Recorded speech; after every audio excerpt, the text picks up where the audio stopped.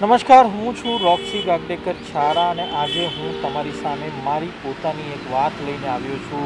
મારી પાછળ આજે ઇમારત છે. આ ઇમારત કોવિડ નાઇન્ટીનની હોસ્પિટલ છે અમદાવાદની, જ્યાં કોવિડના પેશન્ટ્સની ટ્રીટમેન્ટ થાય છે. આ હોસ્પિટલમાં મારા પોતાના જીજાજી જે છે. એ અગિયારમી તારીખે એમને અહીંયા લાવવામાં આવ્યા હતા. કોવિડના એ સસ્પેક્ટેડ કેસ હતા અને એમને અહીંયા પાંચ દિવસ સુધી એમની ટ્રીટમેન્ટ થઈને પાંચ દિવસ પછી એમણે પોતાની છેલ્લી શ્વાસો આ જ હોસ્પિટલમાં લીધી હતી. મારી જે નાની બેન છે, શેફાલી શેફાલી તમાઈ છે, એણે મને ફોન કર્યો અને એણે મને એક પેનિક કોલ કર્યો અને કહ્યું કે ઉમેશને ઉમેશને શ્વાસ લેવામાં તકલીફ પડી રહી છે. તે એકથી બીજા અને બીજાથી ત્રીજા હોસ્પિટલ ઉપર ઉમેશને લઈને ગઈ, પણ ક્યાંય પણ ઉમેશને પ્રાઇમરી ટ્રીટમેન્ટ ન મળી.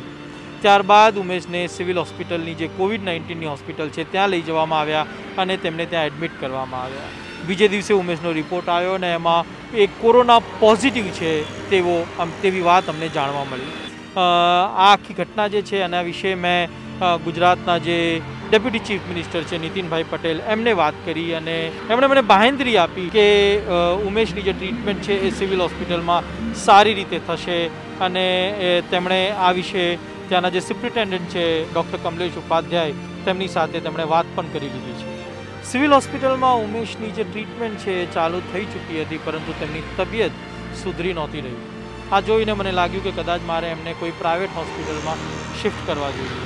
ઘણા બધા પ્રયાસો કર્યા, ઘણી બધી પ્રાઇવેટ હોસ્પિટલ્સમાં એપ્રોચ કર્યા, ઘણા બધા જે ઇન્ફ્લુએન્શિયલ લોકો છે એમને ફોન કર્યા, પત્રકાર મિત્રોને ફોન કર્યા, પણ ક્યાંય પણ એવી મદદ ન મળી જેથી કે ઉમેશને એક બેડ આઈસીયુનો અમદાવાદની કોઈ પણ પ્રાઇવેટ હોસ્પિટલમાં મળી શકે. એક તરફ ઉમેશની જે ટ્રીટમેન્ટ છે સિવિલ હોસ્પિટલમાં ચાલી રહી હતી અને બીજી બાજુ શેફાલીનો જે રિપોર્ટ હતો કોરોનાનો, એ રિપોર્ટ પોઝિટિવ આવ્યો હતો.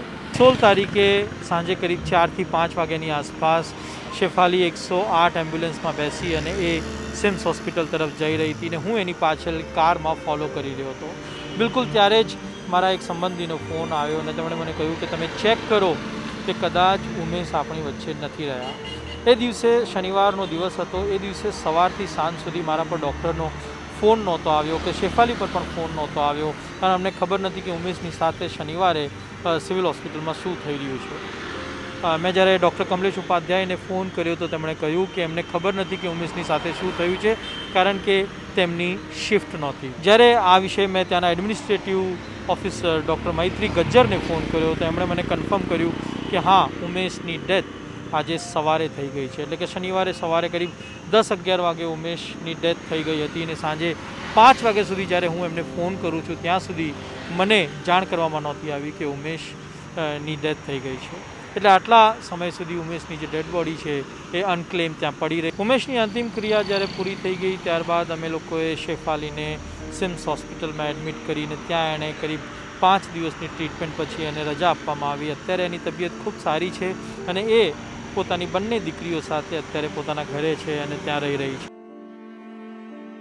આખી જે ચેન ઓફ સિક્વન્સ હતી, જેમાં ઉમેશ બીમાર થયા, ત્યાંથી લઈને સિવિલમાં ગયા અને પછી એમની ટ્રીટમેન્ટ થઈ. બીજી બાજુ શેફાલીની જે ટેસ્ટિંગની જે આખી પ્રક્રિયા હતી, એ પ્રક્રિયાને બધું જોઈને મને એક વસ્તુની, એક વસ્તુનો ખ્યાલ આવે છે કે કોરોનાની સામે હું કેટલો નિસહાય હતો.